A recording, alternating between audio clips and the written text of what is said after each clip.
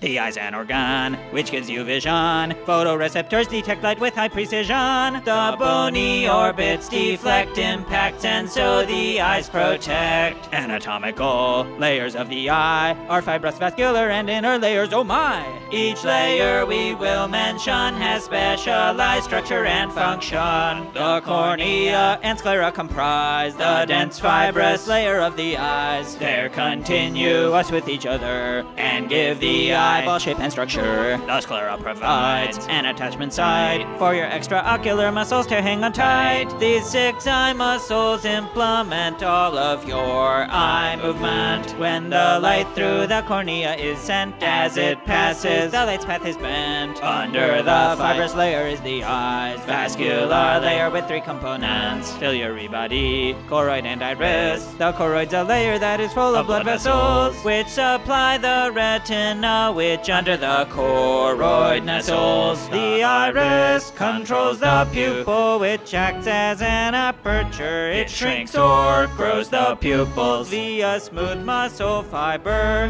The ciliary body has two parts, muscles and processes. The muscle attaches to the lens by the processes. The ciliary body also makes aqueous humor and it alters the lens's shape. When the inner layer gets light, it's detected to give you sight. The retinas are your eyeball sensors. Each retina is composed of another two layers. The neural one for seeing, the pigmented for maintaining.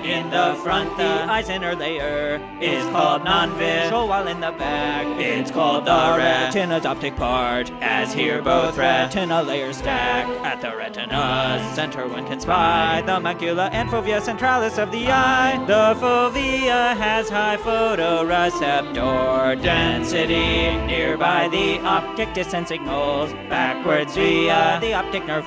Behind the lens lies transparent gel, the vitreous body which fills space. In the posterior chamber is its place. A canal runs from optic disc to lens through this gel. It is a fetal remnant called the hyaloid canal, while the vitreous body is in the posterior chamber. The aqueous humor is in the anterior chamber. The lens is between the vitreous body and the pupil. The ciliary body grips it, changing focal length at will.